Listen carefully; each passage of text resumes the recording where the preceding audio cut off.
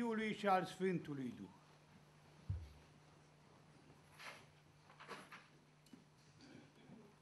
O femeie mare este credința ta, fie ție după cum voiești. Din Evanghelia Duminicii de astăzi de la Matei, capitolul 15, versetul 28. Preacucernice Părinte Consilier, Preacucernice Părinte Protopop, Preacucernici Părinți, Domnule Consilier, onorate oficialități și iubiți frați și surori. În această duminică minunată, când avem bucuria de a liturghisi împreună, subiectul pe care ni-l sugerează Sfânta Evanghelie înspre meditare este următorul. Credința tare sau credința mare. O femeie, mare este credința ta, fie ție cum voiești. Vineri a fost înmormântarea unui mare duhovnic, Părintele Serafim de la Rohia. Multă vreme a fost starețul acelei mănăstiri, dar în 1984 Dumnezeu a îngăduit să fie bolnav de cancer. Și fiind internat în Cluj, la clinica 3 vizitându-l, avea fața senină, era împăcat cu soarta, se gândea că va pleca la Domnul iminent, avea un singură preocupare, pe mâna cui dă mănăstirea. Au trecut 30 de ani s-a făcut sănătos și cred că s-a făcut sănătos pentru că mare era credința lui. Prin credință, orice este cu putință. Să poate depăși și cea mai crudă boală, boala cancerului. Pericopa Evangheliei de astăzi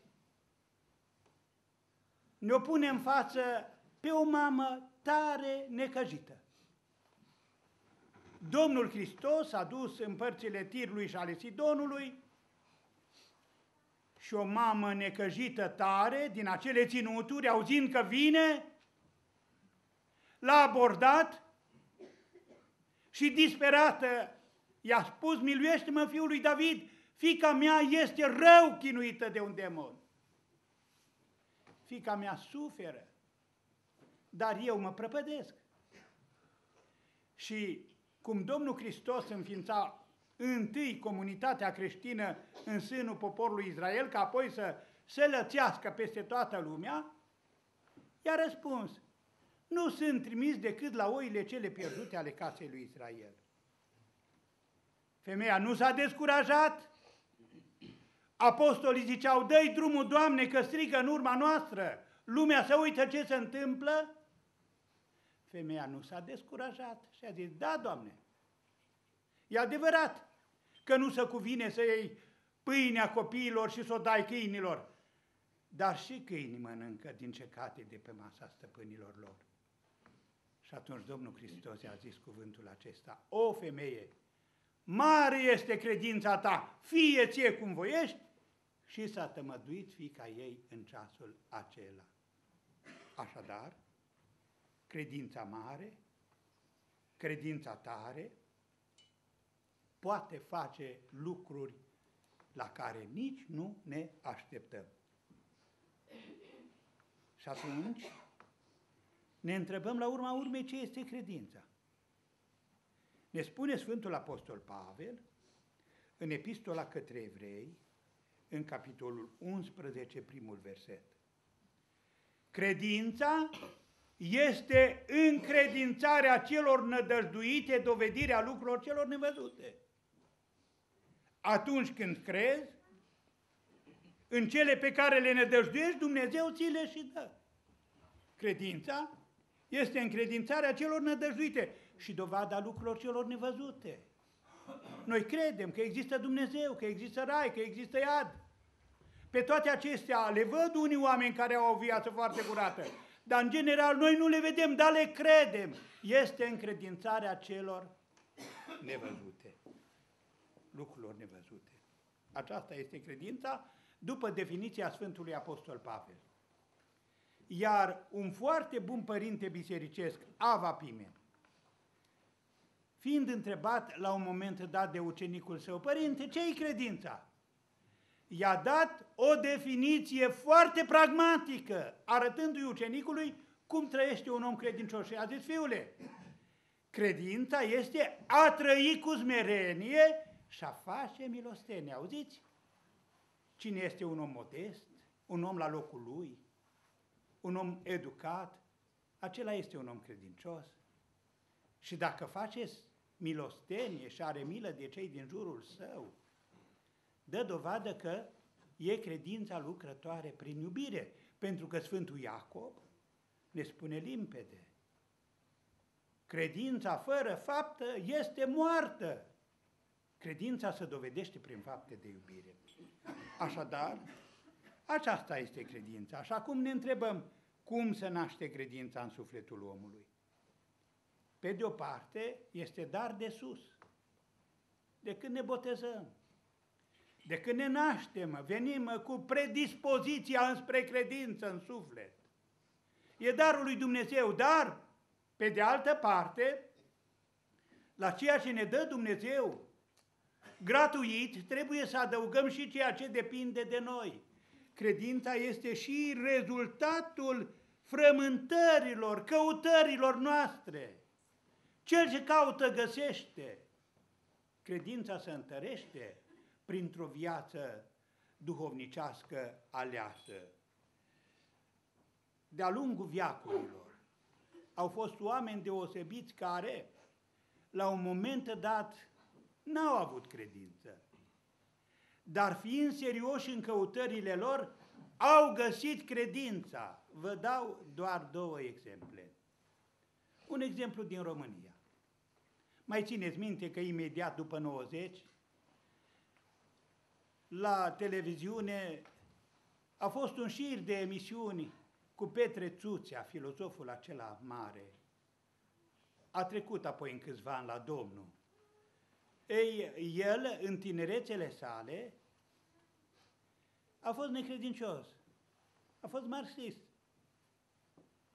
Credea în toate basmele materialiste și la un moment dat și-a revenit în sine și a ajuns un om foarte, foarte credincios.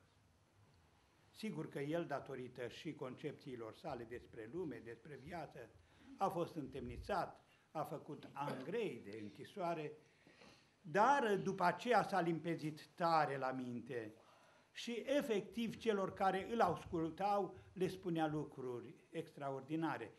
Sau a scris mai multe cărți, dar una dintre ele se intitulează așa, Între Dumnezeu și neamul meu. Și vă citesc că numai o frază din cartea aceasta, Între Dumnezeu și neamul meu, pentru că este mărturisirea unui om care n-a avut credință, dar a găsit-o. Zice Petre Tuțe așa, fără Dumnezeu, fără credință, omul vine de nicăieri și este un biet animal rațional, care vine de nicăieri și merge nicăieri. Auziți, omul fără credință e un biet animal rațional care vine de nicăieri și merge nicăieri. Omul cu credință știe de unde vine. Este zidirea lui Dumnezeu și merge, dacă se pregătește, în împărăția Lui. Acolo unde nu este nici durere, nici întristare, nici suspinare, ci viață fără de sfârșit. Și vă mai dau un exemplu celebru. Giovanni Papini a fost un mare scriitor italian. În tinerețele lui, pe când era la liceu, a fost contaminat și el de filozofia marxistă. Nu credea în Dumnezeu. Dar a venit un moment în care s-a convertit și a devenit un credincios așa de bun încât a mărturisit și altora că nu e altă cale. A scris și o carte, Viața lui Isus. Și în această carte, Giovanni Papini spune la un moment dat, de 500 de ani, cei ce se dau drept spirite libere, deoarece au părăsit rândurile oștii lui Hristos,